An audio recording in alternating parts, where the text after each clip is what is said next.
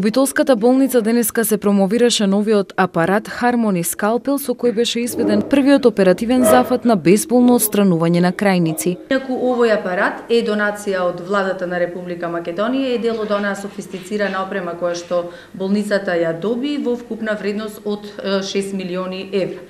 Секако, за да може ова метода да се примени во нашата болница на доедукација или на усовршување во Универзитетската клиника за уво, нос и грло во Скопје, од Битола, односно од оделението за уво, нос и грло, беше испратен доктор Васко Димовски и тој сега во наредниот период ќе ги извршува овие оперативни зафати, се разбира со останатиот помошен персонал во Битолската клиничка болница.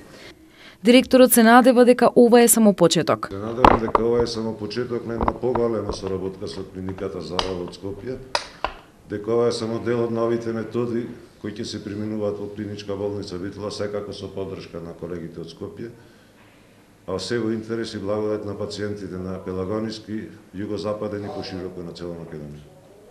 Докторот кој ги врши обуките на Универзитетската клиника за уво грло нос во Скопје ги истакна предностите на овој апарат.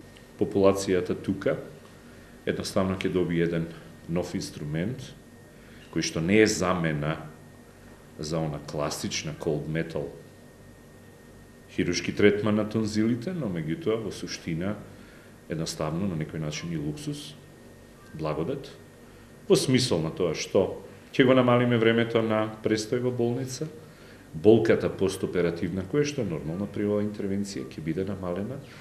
Клиниката се уште не излегла, веќе е изготвување на тој извештај каде што клиничка студија каде што ќе дадеме и обработени податоци во однос колку болката е супримирана, како пациентите го доживуваат сето тоа. Началникот на Битолска оториноларингологија зборуваше за новата метода. Значи, предност е голема зашто крварењето е сведено на минимум. Значи, како компликација од операција на клиници, најчесто е крварењето. Тоа е сведено на минимум со оваа метода. Исто така, болката после операцијата помала, да, да не речам безболно, и времето на лежење во болницава се скратуваат. Значи... Пре оваа нова метода во клиничка ќе се изведуваат и класичните оперативни зафати при вадење на крајници.